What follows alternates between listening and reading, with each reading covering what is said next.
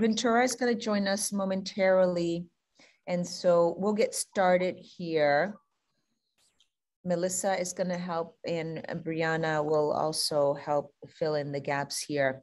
We're circling back from the last time that we all met with respect to the progress of the turnaround plan. When we last met, we had designed a process that sought input feedback from additional stakeholder groups. That process was successfully completed by Great Schools Partnership. And the result of that was a report that they issued to us, and we've had the opportunity to review that. And today we want to share with you the findings and recommendations of that report. So in a moment, Melissa is going to share her screen and she has captured that in some slides and then we can discuss next steps. Good morning, everybody. Morning. If you hear the beautiful sounds of kids behind me, I'm at the uh, LFA and it's been a great morning here. So that might be a bright spot. Um, I hope you all have this deck that was sent out last night by Maria. Um, so, great. As Cynthia said, uh, we engaged stakeholders through the Great Schools Partnership. Um, this supplemented engagement that actually occurred in the spring or really February and March of 2020, which was um, right before during kind of COVID. And so it supplements that, which was 71 folks who participated in that one, which included principals, alumni from LPS, nonprofit organizations, private big business sector, community college leaders, city council, school committee, and state uh, delegates. So that was kind of another session that was a year prior to this one, roughly. The timing of this engagement was September of 2021, again, facilitated by Great Schools Partnership in conjunction with DESE. And in this one, we did, uh, Great Schools Partnership did interviews and focus groups with 75 folks, which um, they opted in to participate in this, and that was families, students, and educators. There's four key strategies in the turnaround plan. And so that was how the feedback was organized for us. Um, and we tried to, there's a deeper report that was also sent last night, but this just summarizes the highlights. And you can kind of see here for this, the column in the center that has a color is a stakeholder reaction, which is what we're calling it. Um, and I'll go through each of these, each one of these slides is sort of oriented or organized in the same way. So in terms of what are the key areas of, or themes for time, data, and expectations, or strategy one, was Acceleration Academies. This is very supported and um, appreciated by all of the, the stakeholders um, who participated. NWEA and DataWise, those are partnerships around building data inquiry cycles, and those were neutral. People didn't feel strongly or either way. Um, and so we have a suggested edit that we'd like you to consider, which is just to add some language around a district-wide communication plan to make more clear what that's doing for us. The next one is the earned autonomy framework. Most people were unfamiliar with this, uh, which isn't too surprising because it's been rolling out um, and the next phase of work is starting on that. We just heard about that in an LAE board meeting um, maybe two meetings ago. Um, and so there's a bigger piece that we're going to we recommend articulating in the plan as an edit around developing and communicating the implementation plan. That would include communication strategies, how to gather data, um, and how to launch it. And then the last, what we're calling, which is that purple box, additional commentary, is item, are items that came up that weren't necessarily part of the focus group, questions, but came up from the stakeholders. In this case, they were emphasizing the importance of pairing high quality materials with high quality instructional practice, wanting to be sure there's cohesion and practice. And so the suggestion we have is to articulate that the district will provide additional supports around those two areas, really as relates to, it's tied to the SQR feedback around instruction and pedagogy. I'll pause for questions on this slide if there are any. Okay. Are there any in the chat? I'm not monitoring it. Okay. For the next section, which is people and partners, again, a strategy in the turnaround plan, it was really affirming to see the support our stakeholders had around some of our big efforts around DEI and anti-racism efforts. uh, increased diversity of our educator workforce, the investment in social emotional supports, and our, our expansion of our co-teaching model. Um, we had support in other areas, but with a little added commentary. Those are the blue boxes. Um, there's a lot of support for the paraprofessional to teacher pathway programs, but they also said we want to be sure that our paras are aware of these opportunities. Um, and for our next step, we still have, we want to add specific language into the plan around increasing the number of bilingual, bicultural educators. I can tell you that we already have had a session with Regis College um, for our paras this year on November 2nd. So we're starting that already. Um, um, can someone tell what what is the deal with Regis right now? Do they still have a physical presence in the city? I can answer that. Yeah, for sure. They do, Jess. In addition, what they're trying to support with this goal is to do a hybrid model for our paras, some mm -hmm. in person, some virtual, being sensitive to families who need to pick up their children, feed their fam, you know, feed their families, and also go to school and also manage their life. But they do have a campus right here. But this model, the specific one that Melissa and we are going to be engaging in, is it's been designed specific to meet the needs of our working professionals. Great. I, I do have a question also related to that because right now they are situated in the Hero camp and the Lawrence campus of uh, Northern Essex Community College, although this year they're fully remote. Um, my question is, have these work started? And do you have already identified paraprofessionals that are gonna be part of this work? And then the third question is, what is your goal each year for this opportunity? Yep, for sure. So I met with Toni, the president of Regis College two weeks ago to really cement and continue to strengthen this partnership. She is highly committed to ensuring that we meet this goal. As a result, she is opening it up to as many paraprofessionals who are willing to take this opportunity. We did an informational session also two weeks ago, of which 30 staff members participated and showed interest. I think the smallest cohort that we will do this um, spring coming up is going to be 10, but we could have up to 30 paras who are very interested in this. Mm-hmm. And as I mentioned, Toni and her team are, are ready to go with us. Mm-hmm. And the initial launch, the initial launch doesn't have a cap and we do not have a cap right now. We will take as many, we're aggressively advertising so that we get as many as possible. And, and how is going to be the tuition? Is that something that they, there's going to be a reasonable tuition for them? Do, do students have to take on student loans? Is the school district going to help with that? Yep, we're paying for that. We have a grant that was part of the commitment that we also made a very high priority where we're going to be paying for it right now. Okay, thank you. Mm-hmm.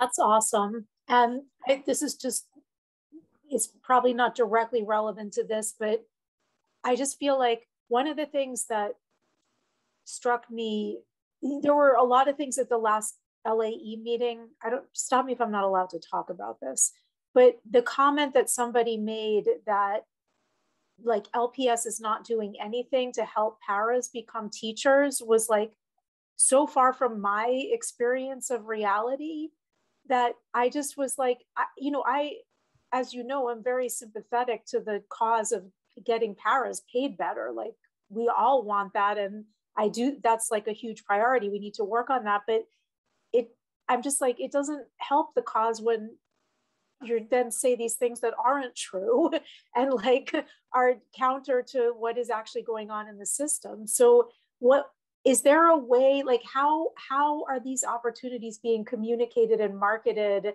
you know throughout the the teaching force so that that paras are really aware of them and you know and then nobody will feel like they have a leg to stand on in coming forward and saying something like that? Because i know that's been a huge priority of ours like. Yeah for sure. So the first thing we do is we send out a very mass email in the all user list serve that is geared to all staff. We do that layer first because there's teachers who work with their paras who have significant interest in seeing their paras grow professionally. We also then send it directly to principals so they can identify and tap and um, encourage paras they also have a good eye for in terms of encouraging them. And then we send it directly to the paras, including the union president, to let her know of these great opportunities. Melissa can also speak to the fact that she has worked on personally a menu of professional development just for paraprofessionals. In fact, the last one that we offered was just this month on November the 2nd, the day that we closed down for election. It's a professional development day for the entire districts, and Parrot had their own menu of options that they could take to elevate again their schools. There's many, many, many offerings, and you're absolutely right, Jess. It is not true that we do not pay attention to them. Right.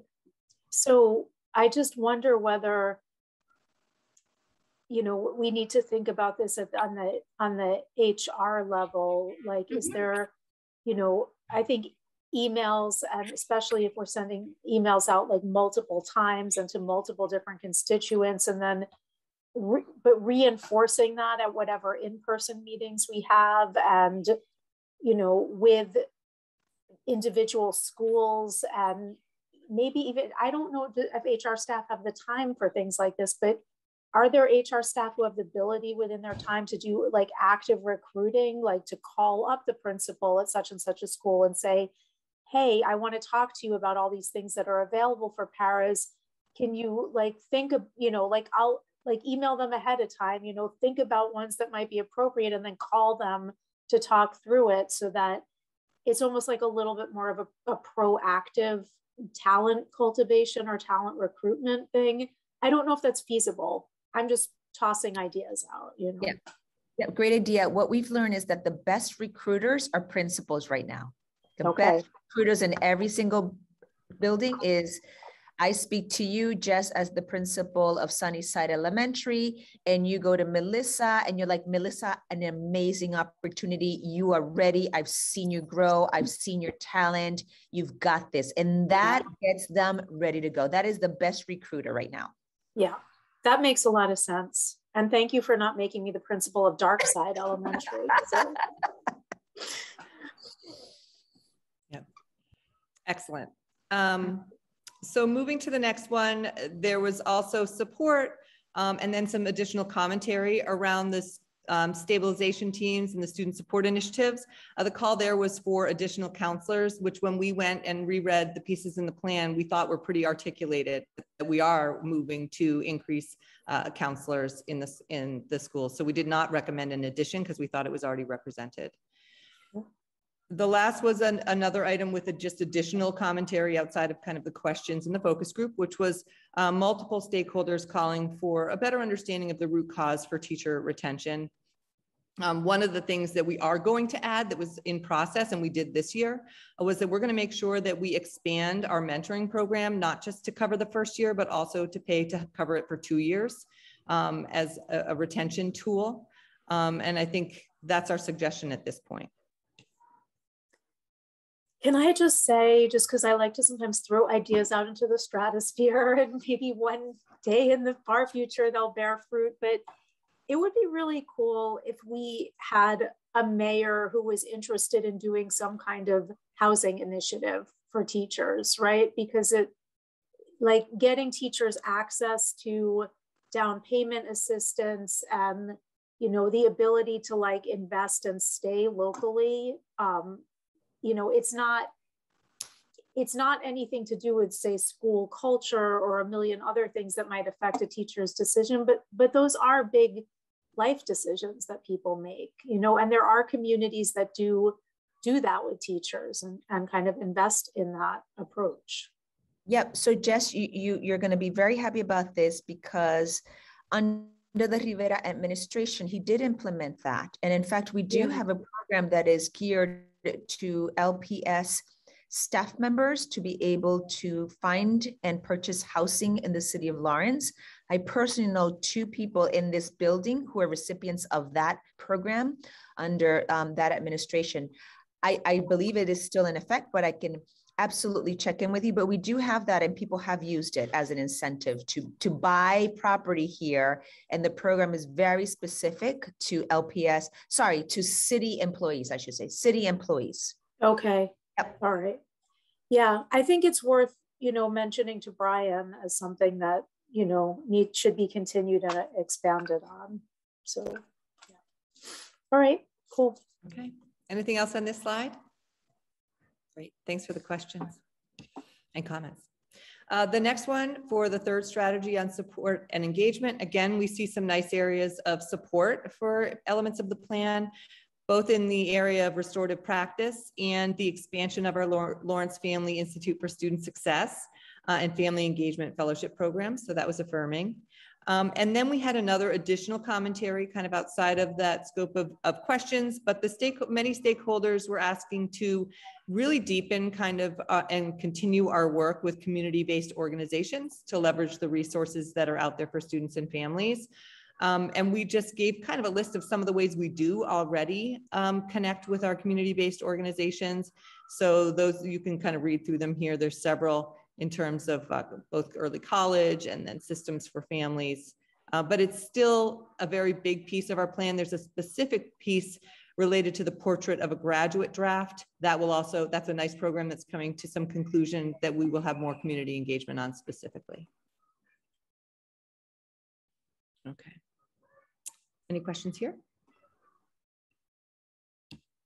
Uh, the last one on autonomy and accountability more areas of support. Um, in general, there was a, um, the theme of moving towards increased autonomy was supported. Um, there's also support for the redesign of the Lawrence High School in the portrait of a graduate. We did add in there some language because when we went and reread it, it didn't really have um, the like that we were finalizing it June 2022, which is the goal. So we added that. We were suggesting we add that language. And then the early college and dual enroll enrollment programming is also very supported. And we had some language we could add to the uh, plan around kind of some numbers of how that's increasing. The additional commentary piece here, uh, there was a raised concern that autonomy sometimes could cause, or they're wondering if they, that could possibly cause inequities across different schools and emphasize the need for consistent and high quality education for students across the district. Um, and the suggestion we have there is that as part of our development of this earned autonomy framework, we want to be explicit in the communication and links to equity. And so we would give some explicit narrative to that as part of our implementation. Um, I just, I do have to let you guys know, just because I see that the chat's disabled, um, before this meeting got scheduled, I had committed to a group of Community Day middle school students that me and my real estate director would talk with them about solar panels and sustainable housing options. And so I am going to have to duck out of this at 11:30 for about 15 minutes or so. My my RE director is going to handle most of it, but I I want to just give the time to the students that I promised at least a little bit. So I'm going to come out and then back in. Thanks for letting us know. No problem. Okay. Um, the last deck is really just additional, or last page is additional commentary that came out that we thought deserved kind of its own page. So this is beyond those four key strategies. And one was, um, and we felt like it was more, it, it, was outside of the scope of our adding to this plan on this piece, but just stakeholders wanting clarity in the proposed plan about the path for LPS out of receivership. So that came in those focus group as an item that they wanted to understand better. So we wanted to relay that to this team. Um, and then in addition, the stakeholders who participated, those 75 folks, wanted to feel heard in decision-making and implementation of this plan um, and increase transparency about how their feedback is being used. And so we would just suggest an email that summarizes the edits that came about based on their input. And that's a very easy thing to do to validate their participation. Uh, I would just say here, I want to push back on, on the other comment on this slide in the sense that I think it's like uh, perfectly valid within the scope of this plan to kind of articulate, like it's part of the turnaround, right? Supposedly that when LPS is turned around, that there, you know, there would be no more, a receivership could end and we could return to local control. And so I would push pretty strongly for at least a goal in here that says that, you know, the LAE is, you know, or I don't I don't know how to phrase it exactly, but that we want to be able to work with DESE to clarify the benchmarks for like some set of benchmarks that help us understand how we're moving towards you know meeting the goals of being turned around and what needs to happen in order for the system to exit receivership. So i don't think that's you know um, inappropriate for the turnaround plan to have um, i don't know how my fellow committee members feel but i i do think this is something that we we need to push DESE in on multiple fronts more strongly around I, I feel similarly to you. My it's not even a concern, but it's like my observation is that as we move forward to this, what is the ultimate, like, are we meeting the ultimate goal? And what is the ultimate goal? For me, the ultimate goal is that the school um, is a robust school district with uh, all the necessary resources, so then they don't need to have a, a receivership because they can be on their own. But what is what are the steps to get there? it doesn't seem to me, it seems to me right now is, is separate from the turnaround plan because it's not describing a turnaround plan that after you check these, these boxes, you will be eligible or you know whatever the word that needs to be used to be back uh, on city control. I don't know if it's here actually, to be honest, either, but it, but it, certainly I think that we need to have that clear understanding of, of what it is. So then we can aim towards that. Yeah, just Noemi, uh, I completely agree. Um, you know, I, I, think, and I'm making some, you know, sort of jumps here. And by the way, I, I, was like off camera. I'm trying to like eat a little bit between meetings too. So sorry about that. Um, nice. So I think like, you know, this plan has uh, like goals, right? Like that we're supposed to be working towards and meeting and, and um, it feels like in the in this plan, it's like we have the strategies to meet those goals, and we're assessing progress towards meeting those goals and, and all of that. And that feels to be like what's most clear to me in terms of like the role of the LAE uh, in helping the district achieve goals that would ultimately get it to a place where it's like the goals are met, you know what I mean, of the turnaround. What what I don't know, Noemi, and picking up on your point is if that process that I just described needs to be more clearly stated by DESE. You know what I mean? Like just to say like the target here is meeting the annual goals that are in this plan. And that's sort of step one to looking at potential exit decisions or whatever that is. It feels like that's the part that people are asking for that's missing that feels like it's not the purpose of this plan to, to like mm-hmm. totally answer that question, but the plan is related, right? Because if we meet the yeah. goals that are in the plan, mm-hmm. mm-hmm. then it should like, what does that mean then? You know, exactly. Mm-hmm. Uh, and, and that's the part that again, I don't know where or how. That is the question I think that I'm hearing. Um, that you know, again, got to figure out where is the best way to get that response. But that's the response that I feel like is missing. And and I feel that if everybody has a clear understanding of what are the metrics and what the goals are in order for us to not be in the receivership, we will have more collaborative work with other people in the community. But sometimes it feels like a conspiracy theory where right, nobody right. knows what is happening and people are hiding agenda. And it's, the reality is that we do not know either. So this is something that, again, I don't know if the place to uh, to have that is in this document, but we certainly need to have that document that will be shared across the city so then we can have more input and people will join us to meet those goals. Yeah. And again, sorry, I, I think, and this is my hypothesis, we got to test this. I think it's, you know, the plan has measurable annual goals. Like there, there are goals in that plan that, you know, we're working and when I say we, the board, but the district are working to, to achieve. So I think we could do a better job of elevating what those goals are so people know what they are, what we're working towards, you know, sort of progress towards. The piece that I think is missing and that we can't say, but, you know, I think we're asking DESE is, our assumption is that meeting those goals like is a part of the step towards exiting receivership. And, and that's right. where I want to get clear. And again, I think we can do a better job of elevating what our goals are and where we're at and let's work. But at that other layer, I feel like that is also really important. So just to pick up on that, Ventura, like I I feel pretty strongly that I, that the last way that you stated that I feel like is dead on, right? It's like, and I I would say that this plan because it's one of the official documents sort of relative to our charge as the receivership board and shaping the school system's you know strategy and path going forward we even if we say nothing else but like put a kind of flag in the ground that says it is our assumption that meeting the goals outlined in this turnaround plan is you know whether we say it is like it's the first step or it's an important step you know, toward uh, helping the system exit receivers, you know, and there needs to be further discussion about the, you know, the next steps along that path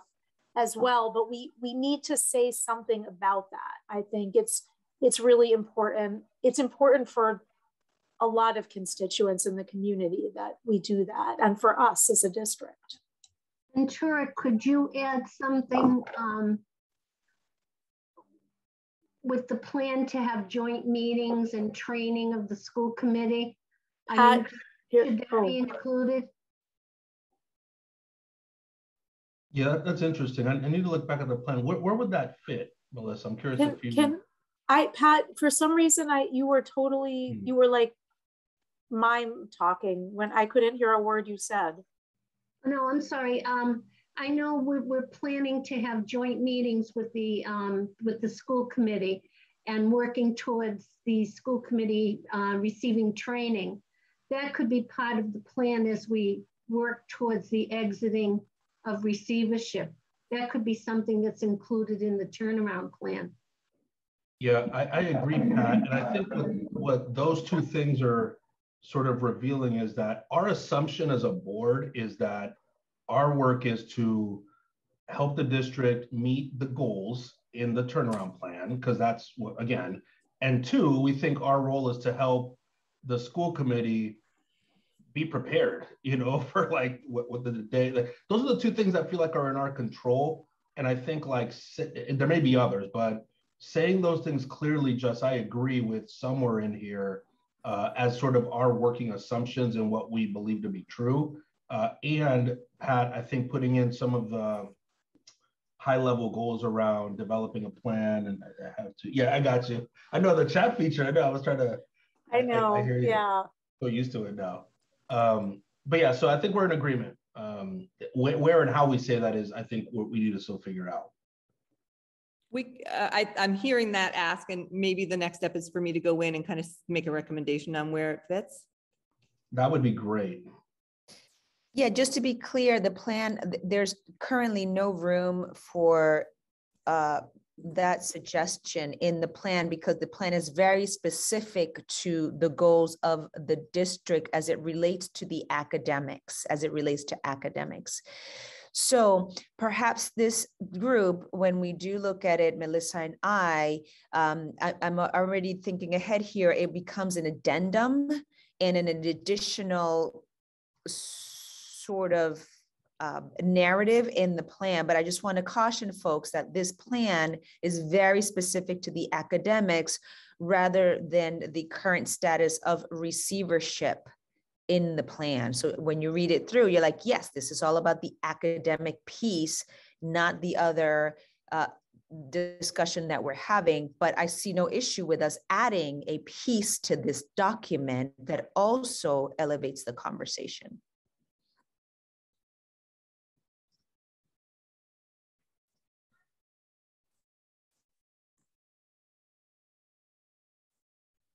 Yeah, I, I guess, um, uh, and I'm, I'm just trying to pull up like the plan itself.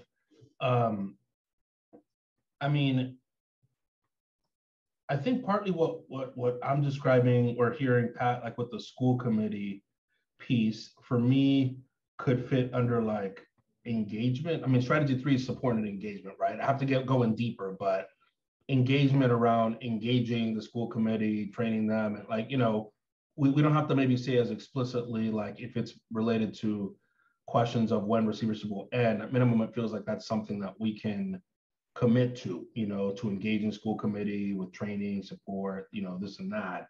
And then, uh, you know, I agree, like, I'm not sure if, um, I think what I'm asking for is to make explicit an assumption we have as a LAE, which is like, while we don't decide when receivership ends, we assume that meeting the goals in this plan are a part of the calculus that goes into deciding that. And, you know, maybe that's just something we share with the commissioner and, and let him know that's our working assumption and where and how would you have that reflected uh, in the cover letter or in whatever, you know, DESE, you say about it.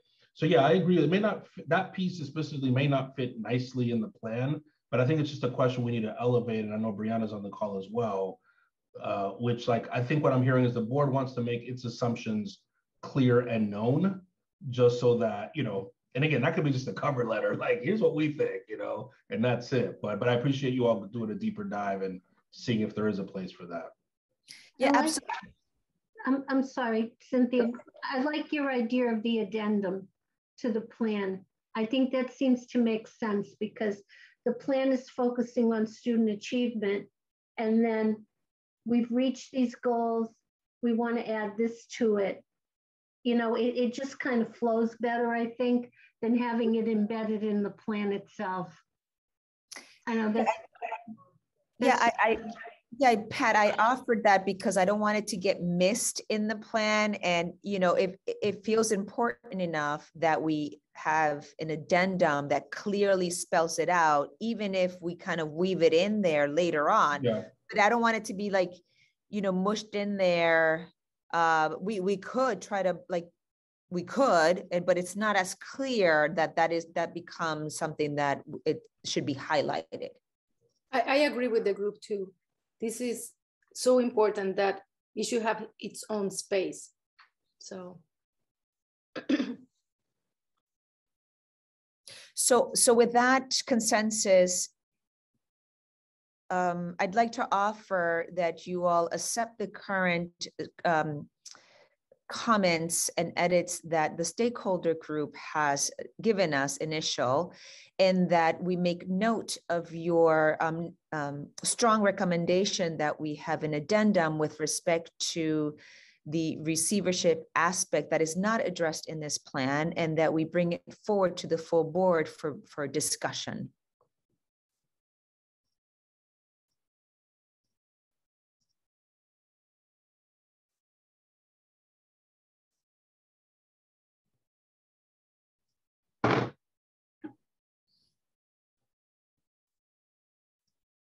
So curious to know what you all think about that idea. Sounds good to me. I like the idea. agree. What, what would an addendum look like? I don't know. I think we should share that feedback that stakeholders um, elevated to us Mm, mhm. and that you all decide as board members how to address that in a in a separate document but attached to the actual plan to then submit forth to the commissioner. I don't know how that would take shape. I don't know. I think you mentioned, is it a cover letter? Right, Is right, it right. exhibit A? I don't know. You, you all, I think that's what I was uh, suggesting that it go back to the full board and they might have other ideas about this based on your recommendation. Yeah, are, we, I'm also wondering, maybe this is a question to Brianna, like, are we including the feedback we receive from stakeholders just more broadly as part of the plan itself? Like, is that an addendum? Because I I guess where I'm heading is if, if that sort of feedback forms part of the overall package, like addendum C is community feedback. Maybe we write an explicit one pager, you know, ahead of, uh, I'd like to capture this feedback like from uh, around receivership specifically, and that's where we can explicitly state what our assumptions are that, you know, ma meeting MAGs are part of the, uh, the step towards exit and that our role is with school committee. Like I could see that as being part of that, but I, I guess I don't know. First of all, like, do would we include that kind of feedback in in in an addendum? So all of the feedback that you've received from stakeholder engagement has and or will be included in the plan. So the first round of stakeholder engagement was already incorporated. That's something you can certainly state publicly that there was a community engagement process. It's been incorporated into the design of the plan. This is the second round of that community engagement. Um, so all of the recommendations that Melissa and Cynthia are making are also with with this group's green light going to be integrated directly into the plan. So I think the overarching question is now um, this question of receivership, which doesn't have a direct edit into the plan and how we respond to that feedback. Um, so we can certainly go back into the plan um, and take a look and have further discussions. Um, the cover letter that already exists does have a very high level um, overview with a couple of paragraphs that talks about the exit to receivership and that Lawrence has so far not met the um, the the goals, partially the measurable annual goals from the previous turnaround plans that would um, you know, move the commissioner down a, a, step of potentially exiting the district. So that is in the plan. That's a potential area that you can strengthen that language and make it more explicit. But we can continue to have discussions about this particular element of feedback um, and where it might fit. Yeah, see, I, I, I like that cover letter. Um, we'd have to go back, and if there's a way to strengthen language there, I would be a proponent of that. And while I know that the feedback has um, you know, impacted than the updates in the document itself. I think what I was asking is if there's a separate addendum that just like summarizes the feedback received or attaches the report from like GSP, you know, or something like that. Um, you know, in, in addition to incorporating feedback into making line item changes, things like that. But um, do you know if that's included typically? It typically is not. Okay. All right. So what I'm hearing is again, I would propose if there's stronger language that could be made to the introduction. And again, we, we can't make promises, but what we're saying is laying out our assumptions and that the MAGs meeting those are a step or a consideration, like whatever, strengthening language there. And then maybe uh, a one pager that we put as an addendum to say, you know, in addition to all the feedback we received about the elements, here specific feedback we received about receivership and we want to capture that. And so it's because it doesn't fit nicely anywhere, but at minimum, we want to capture that feedback. And then maybe we can say a few words at the beginning of that uh, around some of our assumptions again and things like that. So that's kind of what I'm hearing. Is that, Cynthia, when you think addendum, does that make sense? I think that's right. And I like this idea that we would have the one pager that is endorsed and edited by this committee to then bring forth to the larger board for further discussion and approval.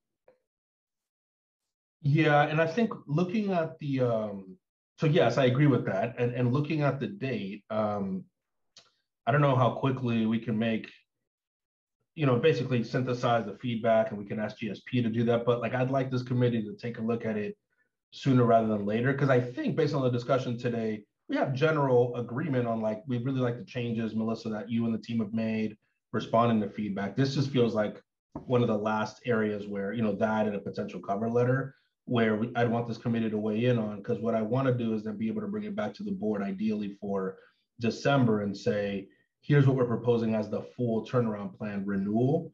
Um, you know, and and you know we have how many one, two, three, four board members here already. So it's really just with a few others that we need to make sure if they have questions and things like that. But I would love to move to actually approve this thing in December and and move on, you know, to actually implement.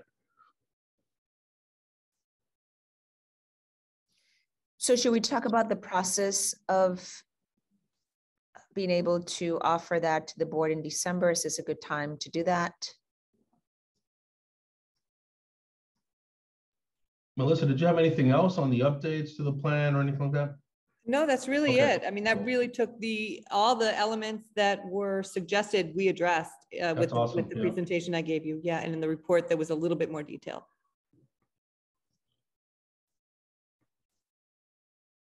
Um, so yeah, Cynthia, I mean, I think that makes sense then to talk about next steps. Yeah, so I wonder if, so let's just recap here, just for my own timeline's sake. We've reviewed the stakeholder feedback. You, um, it, it sounded like you all agree with the comments and um, things we incorporated. And the outstanding comment that currently is not part of the plan is the question about receivership. We've had discussion about when and how we um, elevate that and continue to keep that conversation alive. And we've come to consensus that it would be best to include it as part of the plan, but not try to like uh, embed it in the plan because it's not, it, it- deserves its own, it does.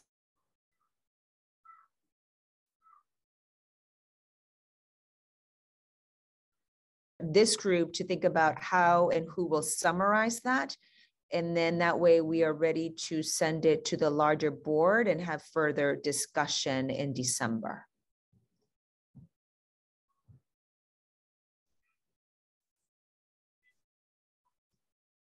Yeah, I think that, that resonates with me. I don't know, others.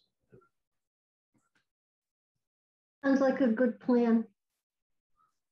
Yes. Cynthia, Okay. the one thing that I would recommend. Yep. Because, and this is something that from time to time, the board has made the observation. We do get killed by documents. We get so many documents and it is overwhelming at times. This is a very important step that we all agree that we will be getting into. So maybe this could be a standalone document that is sent to the rest of the, I mean, to all of us. Yep. And that we will have time to read it and reflect and to be ready for the board. Because if we do it like, even if we do it 48, 72 hours before the meeting, people might not have, might not have the opportunity to read it and reflect on it. Yeah, great feedback. Mhm. Sorry, great feedback. I agree with you. What if we agreed that we would send it, our next board meeting is December 8th? Is that the Wednesday, the uh, second Wednesday? Sorry, what's the second Wednesday? Let me look. Look very quickly here. Great. So the, the eighth is our next board meeting. And so given where we are, I'm wondering if it's reasonable for us to have a solid draft to you all on the 29th, which is about a couple weeks from now.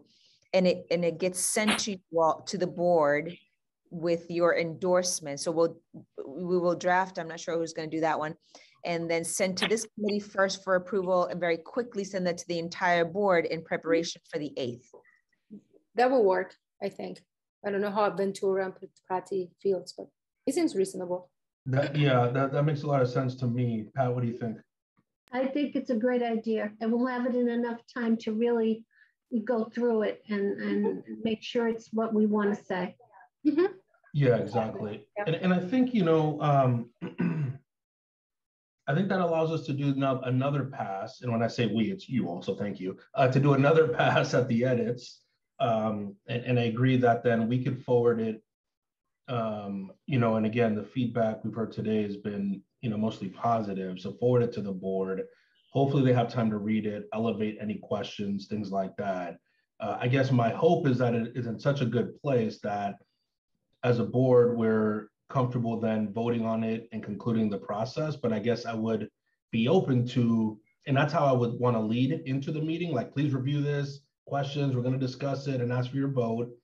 If anything comes out of that discussion from the other three board members that we just hadn't anticipated or feel substantive enough, I will consider then taking all that if we need to make adjustments for the January meeting. Um, you know, but again, my my my sort of going into this is to to review, final, and vote this is like conclusion of like a two-year process. I mean, we've been looking at this and thinking about it, and I feel like we're now incorporating another round of feedback, which is great because our board asked for that.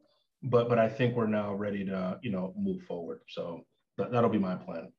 Ventura, do you think it would be appropriate when we get the, the draft to look at on the 29th, that you ask that if, if anybody has any questions or anything, they forward them to either Brianna or the superintendent so that questions are answered prior to the meeting?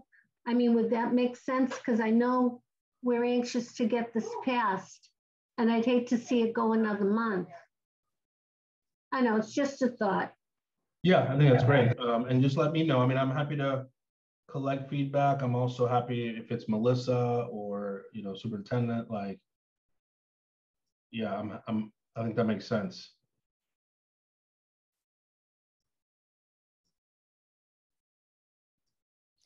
Great. So we will make sure that when we send that, we offer the additional opportunity for questions prior to that meeting and uh, so we can have a robust discussion and in earnest people feel like they've had you know their questions answered and their feedback incorporated